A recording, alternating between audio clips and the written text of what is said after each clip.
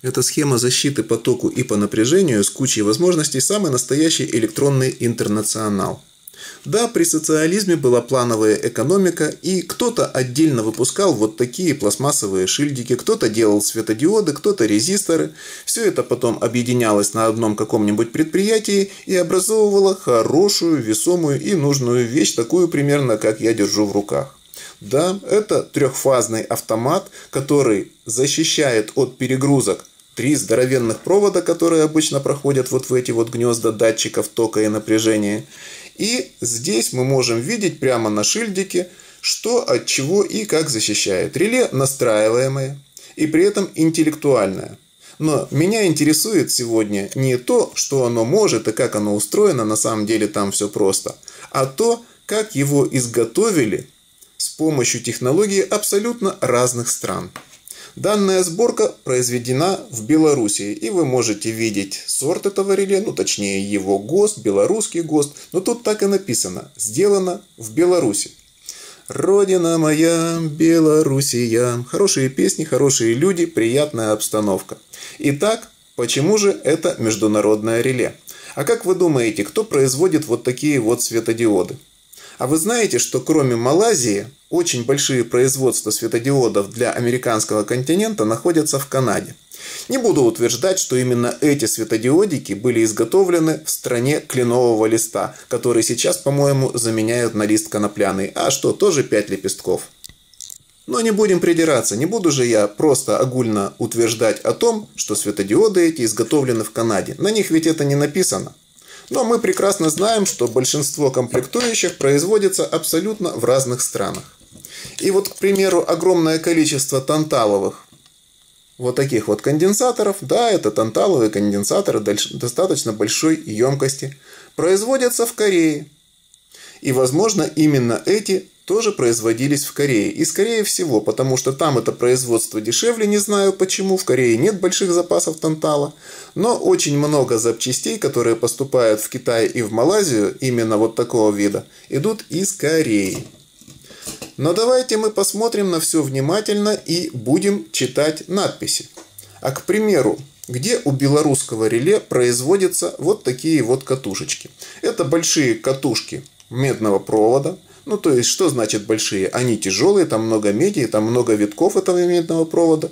Но на них зато очень легко прочитать, откуда они взялись.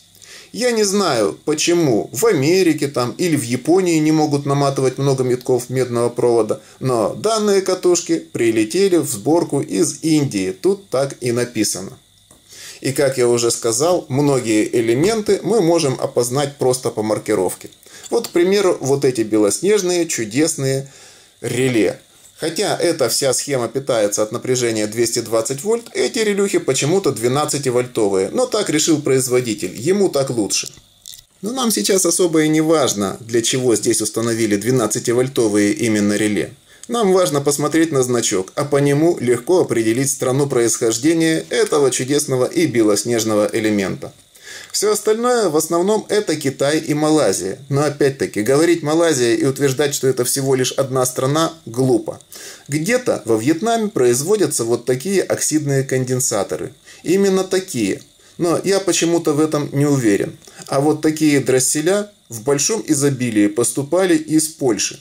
Они никогда не были обтянуты пленкой, и феррит их отличается вот такой вот вышлифовкой, как бы сказал. Они не такие грубые, как китайские. Если их потрогать на ощупь, они гладенькие.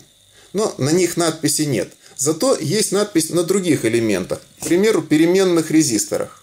Давайте взглянем, что же там пишут.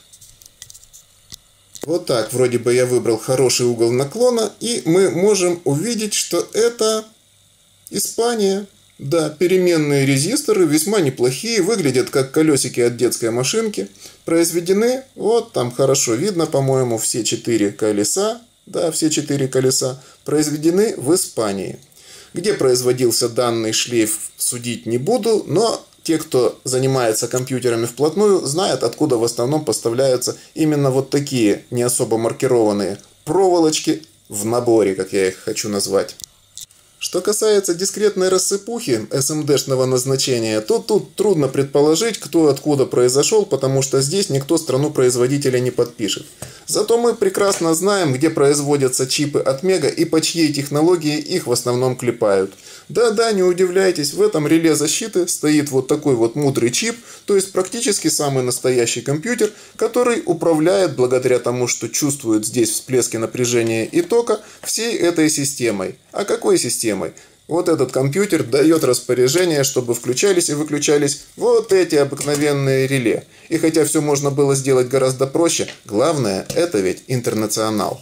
А вообще интернационал и социализм это дружба и взаимопомощь. И я надеюсь, что все вы будете друг другу помогать, а может быть даже дружить. И тогда наступит мир во всем мире, как завещал великий проповедник коммунизма.